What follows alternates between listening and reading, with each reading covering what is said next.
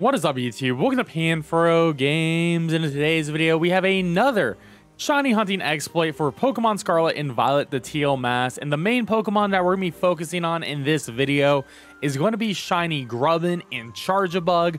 We have a good way to exploit these guys and a couple other spawns as well that you might enjoy too. And of course, guys, like my type of content, enjoy these videos, please leave a like, subscribe if you're new. I really appreciate it. Consider supporting the channel by joining the Pan Fam by hitting that join channel member button below.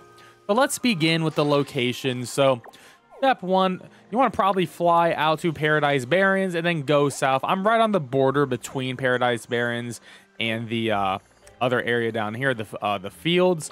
And from this starting point, we're going to look towards the fields get on our ride Pokemon. We're going to take a slight little trip, and we're going to be hugging the wall on the right here. We're going to hug it. We're going to go through these rocks, and we want to get past that first set of rocks to the second set of rocks, and you're going to be at the right location when you see there's one big boulder and these six little rocks together. And you just want to be like right over here, and we are going to like save our game. Uh, just keep the spot going so you're good to go. Just in case you make your sandwich, you don't get the shine, you can reload and you're good to go to easily do this. Now you can see a lot of Pokemon are spawning in this area, and this is a very interesting location. Uh, there's two different uh, spawning types here. There's the grass spawns, and then there is the like mountainous rough zones right here. And between these two and this whole area, because this top of the map is pretty much littered with this. It's hard to find an area that only gets just one kind, so it's best just to hunt for Pokemon that spawn in both areas so you can isolate those. Now, we're going to start with Grubbin here, and I will say this. Grubbin is a nighttime only hunt. If you do it during the daytime, you will be getting Cutieflies spawning here too, and you don't want to deal with that. So what we're going to do is we're going to set up our picnic, and we're going to use a bug-type sandwich to do this shiny hunt. And the bug type sandwich is relatively easy to make. Of course, we are going to be using Herba Mystica for all of these sandwiches. And luckily, we don't have to use cherry tomatoes anymore. We can actually use the item potato salad, uh, which is going to make everything so much easier. And then we're going to use one salty, and you can either use a sweet or a spicy. I'm just going to toss a spicy on here. Now, with Grubbin, it spawns in both tile areas is going to be spawning in both the grass and in the like areas that's just dirt. The reason why I like this spot a lot and why I feel like it's important making a video on it is because Grubbin is such a small spawn. It hides in the grass. It can be very annoying, but the fact that a lot of them spawn not in the grass means going to be super easy for you to notice the shinies. Of course, Charjabug, very easy shiny to notice as well as it's going to be completely red. So we got our sandwich made. We got level three for all the good stuff for bug type Pokemon. And we are now re uh, ready to do this hunt. So just going to do this and we're going to have 30 minutes to do it. So you can see on our left and our right, we're going to be getting some spawns coming in. So we got Charjabugs and we got Grubbins. And these are the only Pokemon that are going to be spawning in here. The spawns can vary based on actual location, but you can see the ones on the left are so much easier to see than the ones on the right. Luckily, the shinies are very obvious, as you can see on the screen here. Uh, the Charjabug is all red, and Grubbin is going to be red as well. Instead of that orange, it's going to be all red, and it's going to have like red dots on the side. So it's going to be relatively easy. You can actually move back a little bit further if you would like to. This positioning sort of up to you. You can get your picnic pretty much set up as long as there's some room behind you. You can pretty much have your picnic set up anywhere. So hopefully you get this shiny pretty quickly, but this is going to be an awesome place to actually shiny hunt for Grubbin. If you would like, you could make this a run around hunt as well, but I do prefer the picnic reset as it is going to be a bit faster than just running around and hoping you just get the spawns you need. Well, it took us almost the full sandwich. We actually ended up with shiny Charjabug, which is definitely much easier to notice than the shiny Grubbin for sure, but absolutely beautiful shiny right there.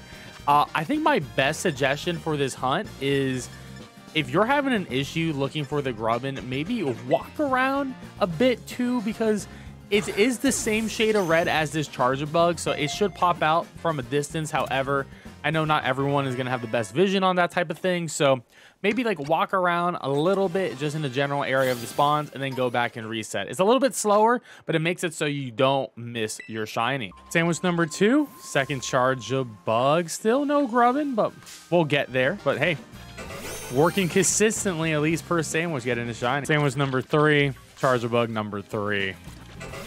After two and a half sandwiches, we finally got our Shining Grubbin.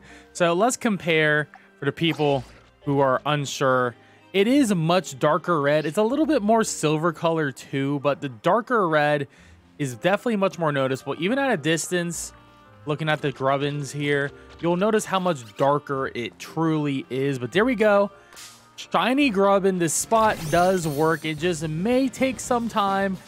And at the very least, you'll notice your Charjabugs without any hesitation. Now let's move on to our next shiny hunt. Next up, we're to be doing a flying type sandwich at night because we can catch our favorite now new Murkrow pest, which is to be Hoothoot Noctowl.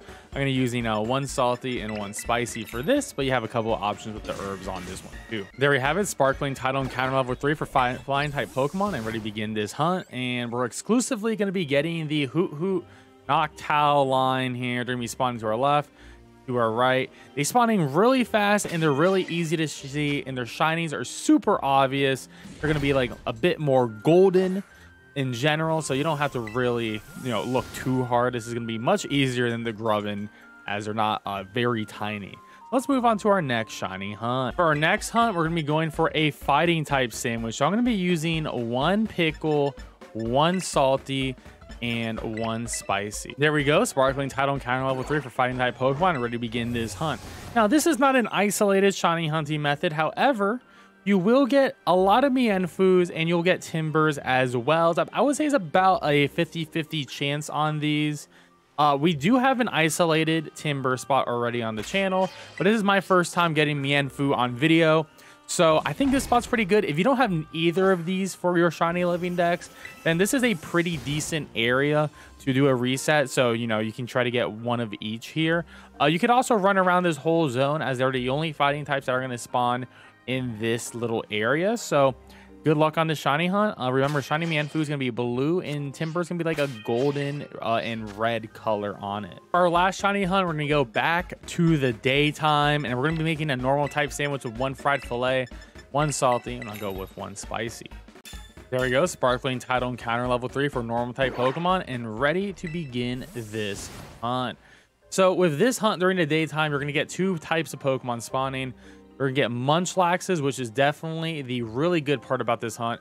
And you'll also get Skovets. Now, it seems like the Munchlax are the exclusive normal type spawn to this like ground area. And the Skovets and the Munchlax both spawn in the grassy fields.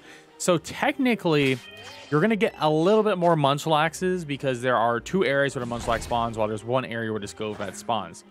Now, Munchlax is a not the easiest Pokemon to isolate shiny hunt from what I've noticed. Seems to be a lot of normal spawns in a lot of areas where it does spawn.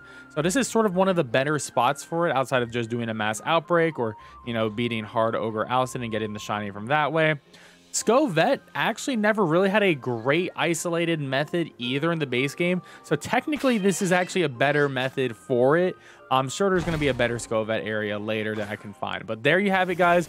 Those are all the shiny hunts that you can do in this location. I think this is going to be pretty decent, uh, especially for uh, Grubbin uh, and Charjabug. Shout out to my friend uh, Chains for letting me know about this spot. And good luck on all your shiny hunts, guys. Of course, if you have any good locations, feel free to let me know in the comment section below or on Discord. Really appreciate it. And I'll catch you guys next time.